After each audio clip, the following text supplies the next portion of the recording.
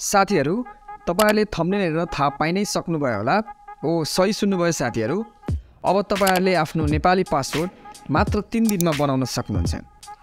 साथीहरू विगतको समयमा नेपालमा नेपाली पासपोर्ट बनाउने प्रक्रिया यति धेरै जटिल छ कि यी पासपोर्टको लागि एप्लाई अनलाइन एप्लाई गरेकाहरूले पनि अफिस भिजिटको डेटको लागि महिनौ कुर्नुपर्ने बाध्यता छ।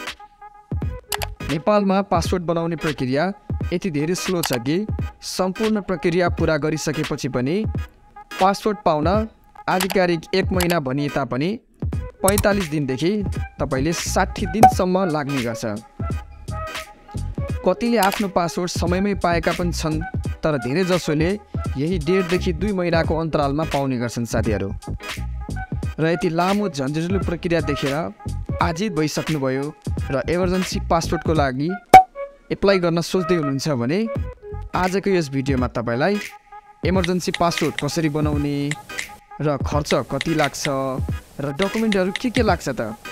हो यी सम्पूर्ण कुराहरू आजको यसै भिडियोमा तपाईँलाई बताउने छु सम्पूर्ण प्रक्रियाहरूलाई बुझ्न यो भिडियोलाई अन्तिमसम्म हेर्नुहोला साथीहरू। र भिडियोमा अगाडि बढ्नुभन्दा पहिला भिडियोलाई लाइक गरी च्यानललाई प्लिज सब्सक्राइब गर्नुहोला ताकि यस्तै खाले भिडियो बनाउन मलाई पनि मोटिभेसन मिलोस्। साथीहरू हाम्रो तिनवटा पोइन्टमध्ये पहिलो पोइन्टलाई डिस्कस गरौँ। तिन दिनमा इमर्जेन्सी पासपोर्ट कसरी बनाउने त? त्यसको लागि साथीहरू तपाईँहरूले आफ्नो नागरिकता बनाएको जिल्ला प्रशासन कार्यालयमा गई एउटा सिफारिस पत्र लिनुपर्ने हुन्छ। सिफारिस पत्रमा के के उल्लेख गरिएको हुन्छ भने तपाईँलाई के इमर्जेन्सी परेको छ? र इमर्जेन्सी परेर तपाईँ कहाँ जाँदै हुनुहुन्छ? हो यी जस्ता कुराहरू उल्लेख गरिएको हुन्छ। र प्रशासन कार्यालय अधिकृतको सही छाप लागेको सिफारिस पत्र लिएको हुनुपर्छ। अनि एउटा कुरा साथीहरू तपाईँले इमर्जेन्सी पासपोर्टको लागि अनलाइन फारम भरिराख्नु पर्दैन। साथीहरू दोस्रो पोइन्टको कुरा गरौँ। अनि डकुमेन्टहरू के के लाग्छ त? सबभन्दा पहिले त तपाईँको आफ्नो नेपाली नागरिकता हुनुपर्छ। र विगत केही समयदेखि राष्ट्रिय परिचय पत्र अर्थात् नेसनल आइडेन्टिटी कार्ड नम्बर आवश्यक पर्ने हुनाले तपाईँले जिल्ला प्रशासन कार्यालयबाट राष्ट्रिय परिचय पत्र नम्बर पनि लिएको हुनुपर्छ। र अर्को जिल्ला प्रशासन कार्यालय सिफारिस पत्र पनि चाहिन्छ जुन मैले अगाडि नै भनिसकेको। त्यो तपाईँको नागरिकता इस्यु भएको जिल्ला प्रशासन कार्यालयबाट त्यो पाउन सक्नुहुन्छ।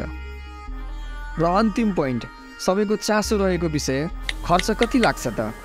हुन त नर्मलभन्दा इमर्जेन्सी पासपोर्टका लागि स्वाभाविक रूपले खर्च बढी नै लाग्छ तर कति लाग्छ त? सामान्यतः साथीहरू तपाईँलाई विभिन्न दस्तुरहरू गरी जम्मा नेपाली बाह्र हजार रुपियाँ लाग्छ हो यी सम्पूर्ण कागजपत्रहरू जुटाएर तपाईँले आफ्नो डिओपी अर्थात् डिपार्टमेन्ट अफ पासपोर्ट कार्यालय जानुपर्ने हुन्छ। त्यो काठमाडौँको त्रिपुरेश्वर भन्ने ठाउँमा रहेको छ। त्यहाँ गएर तपाईँले अगाडिको प्रक्रियाहरू पुरा गर्न सक्नुहुन्छ। हो यी थिए साथीहरू इमर्जेन्सी पासपोर्ट बनाउने सम्पूर्ण प्रक्रिया। भिडियो तपाईँहरूलाई कस्तो लाग्यो? साथीहरू प्लिज आफ्नो प्रतिक्रिया दिनुहोला र भिडियोलाई लाइक गरी च्यानललाई प्लिज सब्सक्राइब गर्नुहोला र साथमा रहेको बेल आइकन पनि अलमा क्लिक गर्नुहोला ताकि यस्तै खाले भिडियो तपाईँहरूले मिस गर्नु नपरोस्। हस्त साथीहरू भिडियो हेरिदिनुमा धेरै धेरै धन्यवाद।